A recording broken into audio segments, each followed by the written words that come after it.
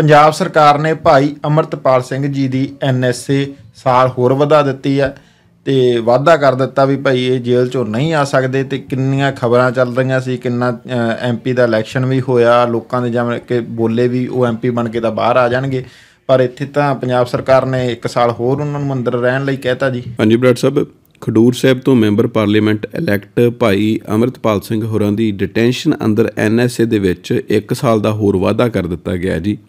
ਇਹਨਾਂ ਦੇ ਉੱਤੇ ਅਪ੍ਰੈਲ 2023 ਨੂੰ ਐਨਐਸਏ ਲੱਗੀ ਸੀਗੀ। ਆਪਾਂ ਇੱਕ ਦਿਨ ਪਹਿਲਾਂ ਵੀ ਇਹਦੇ ਬਾਬਤ ਗੱਲਬਾਤ ਕੀਤੀ ਸੀ, ਜਿੱਥੇ ਆਪਾਂ ਜਿਹੜੇ ਅਨਵੈਰੀਫਾਈਡ ਸੋਰਸ ਤੋਂ ਗੱਲ ਕੀਤੀ ਸੀ, ਉਹਦੇ ਵਿੱਚ 6 ਮਹੀਨਿਆਂ ਦੀ ਇਹਦੇ 'ਚ ਜਾਣਕਾਰੀ ਦਿੱਤੀ ਹੋਈ ਸੀਗੀ। ਪਰ ਆਪਾਂ ਉਹਦੇ ਲਈ ਮਾਫੀ ਚਾਹੁੰਦੇ ਆ ਉਹ ਖਬਰ ਟੈਕਨੀਕਲੀ ਠੀਕ ਨਹੀਂ ਸੀਗੀ। ਜਿਹੜੀ ਐਨਐਸਏ ਹੁੰਦੀ ਆ, ਇਹ 1 ਸਾਲ ਦੀ ਹੁੰਦੀ ਆ 12 ਮਹੀਨਿਆਂ ਦੀ। ਸੋ ਇਸੇ ਦੇ ਚੱਲਦੇ ਆ 12 ਮਹੀਨਿਆਂ ਦੀ ਐਕਸਟੈਂਸ਼ਨ ਦੇ ਦਿੱਤੀ ਗਈ ਹੈ। ਇਹ ਸਜ਼ਾ ਹੋਣ ਦੇ ਨਾਲ ਹੁਣ ਭਾਈ ਅਮਰਤਪਾਲ ਸਿੰਘ ਹੋਰੀ ਹੈ 2025 ਤੱਕ ਜੇਲ੍ਹ ਦੇ ਵਿੱਚ ਹੀ ਰਹਿਣਗੇ। ਇਹ ਐਕਸਟੈਂਸ਼ਨ ਆ ਜਿਹੜੀ 23 ਅਪ੍ਰੈਲ 2024 ਨੂੰ ਹੀ ਵਧਾ ਦਿੱਤੀ ਗਈ ਸੀਗੀ, ਪਰ ਇਹ ਇਨਫੋਰਮੇਸ਼ਨ ਬਰਾੜ ਬਾਹਰ ਨਹੀਂ ਆਉਣ ਦਿੱਤੀ ਗਈ। ਸ਼ਾਇਦ ਆਨਗੋਇੰਗ ਇਲੈਕਸ਼ਨ ਦਾ ਕਰਕੇ ਇਹ ਗੱਲ ਆ ਜਿਹੜੀ ਅੰਦਰ ਤੱਕ ਰੱਖੀ ਗਈ। ਭਾਈ ਅਮਰਤਪਾਲ ਸਿੰਘ ਹੋਰੀ ਤੇ ਉਹਨਾਂ ਦੇ ਨਾਲ ਜਿਹੜੇ ਬਾਕੀ ਦੇ ਡਿਟੇਨੀਜ਼ ਹੈਗੇ ਨੇ ਅੰਡਰ ਐਨਐਸਏ ਇਹਨਾਂ ਸਾਰਿਆਂ ਦੀ ਜਿਹੜੀ ਹੈਗੀ ਹੈ ਡਿਟੈਂਸ਼ਨ 1 ਸਾਲ ਦੇ ਲਈ ਐਕਸਟੈਂਡ ਕੀਤੀ ਗਈ ਹੈ। ਭਾਈ ਅਮਰਤਪਾਲ ਸਿੰਘ ਹੋਰਾਂ ਦੀ ਐਨਐਸਏ ਦੀ ਜਿਹੜੀ ਡਿਟੈਂਸ਼ਨ ਆ ਉਸ ਦੀ ਐਕਸਟੈਂਸ਼ਨ ਦੇ order home department of Punjab ਵੱਲੋਂ 3 ਜੂਨ ਨੂੰ ਇਸ਼ੂ ਕੀਤੇ ਗਏ ਆ ਜੀ। 3 ਜੂਨ ਬਰਾੜ ਸਾਹਿਬ, ਉਹ ਡੇਟ ਆ, ਲੋਕ ਸਭਾ ਇਲੈਕਸ਼ਨਾਂ ਦੇ ਰਿਜ਼ਲਟ ਆਉਣ ਤੋਂ 1 ਦਿਨ ਪਹਿਲਾਂ।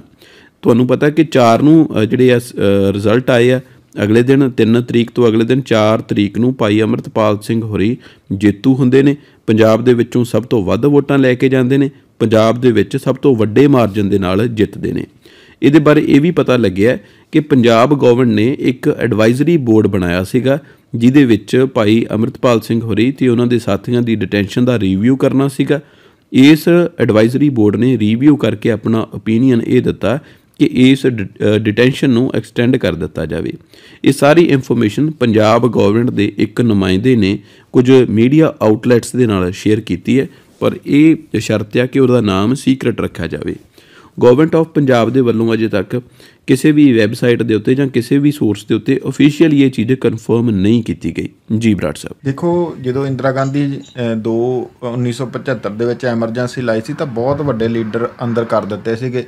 ਤੇ ਉਦੋਂ ਸਾਰੇ ਕਹਿੰਦੇ ਸੀ ਵੀ ਭਾਈ ਇਹ ਬੋਲ ਰਹੇ ਆ, ਲੋਕਾਂ ਦੇ ਲਈ ਫਾਇਦਾ ਹੈਗਾ, ਐ ਹੈਗਾ, ਪਰ ਉਹਨੂੰ ਅੰਦਰ ਦੇ, ਅੰਦਰ ਹੀ ਰੱਖਿਆ ਸੀ ਤਾਂ ਕਿਤੇ ਨਾ ਕਿਤੇ ਫਿਰ ਲੋਕਾਂ ਦਾ ਜਿਹੜਾ ਇੰਨਾ ਲੋਕਾਂ ਨੇ 4 ਲੱਖ ਲੋਕਾਂ ਨੇ ਕਿਹਾ ਵੀ ਭਾਈ ਸਾਡਾ ਐਮਪੀ ਬਣੋ, ਸਾਡੇ ਏਰੀਆ ਨੂੰ ਸੰਭਾਲੋ।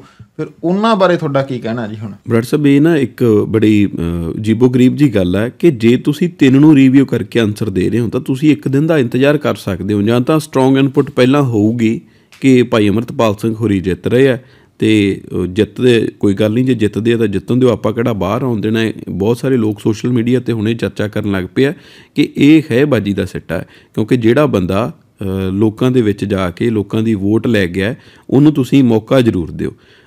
ਬਾਕੀ ਜਿਹੜੇ ਮੁਕੱਦਮੇ ਆ, ਉਹ ਨਾਲ ਦੀ ਨਾਲ ਚੱਲੀ ਜਾਣੇ ਆ। ਜਿਹੜੇ ਜਿਹੜੇ ਥਾਣਿਆਂ ਦੇ ਵਿੱਚ ਹੈਗੇ ਆ, ਜੇ ਕੋਈ ਕੋਰਟ ਕੇਸ ਆ, ਉਹ ਨਾਲ ਨਾਲ ਚੱਲ ਚੱਲਦਾ ਰਹੂਗਾ। ਪਰ ਜਦੋਂ ਲੋਕਾਂ ਨੇ ਫਤਵਾ ਦਿੱਤਾ ਹੋਵੇ ਕਿਸੇ ਬੰਦੇ ਨੂੰ, ਤੇ ਉਹਨੂੰ ਬਾਹਰ ਜ਼ਰੂਰ ਆਉਣ ਦੇਣਾ ਚਾਹੀਦਾ। ਹੁਣ ਤਾਂ ਇਸ ਚੀਜ਼ ਦੇ ਉੱਤੇ ਵੀ ਸਵਾਲ ਉੱਠ ਰਹੇ ਆ ਕਿ ਕੀ ਉਹਨਾਂ ਨੂੰ ਸੌਂ ਚੁੱਕਣ ਵੀ ਦੇਣਗੇ ਕਿ ਨਹੀਂ। ਇਨ ਕੇਸ ਉਹ ਸੌਂ ਚੁੱਕ ਲੈਂਦੇ ਆ ਜੇਲ੍ਹ ਦੇ ਅੰਦਰੋਂ ਹੀ, ਤਾਂ ਕੀ ਉਹਨਾਂ ਦੀ ਜਿਹੜੀ ਮੈਂਬਰਸ਼ਿਪ ਆ, ਉਹ ਕੰਟੀਨਿਊ ਰਹੂਗੀ? ਕਿਉਂਕਿ 60 ਦਿਨਾਂ ਦੇ ਵਿੱਚ ਹਾਜ਼ਰੀ ਲਾਉਣੀ ਜ਼ਰੂਰੀ ਹੁੰਦੀ ਹੈ।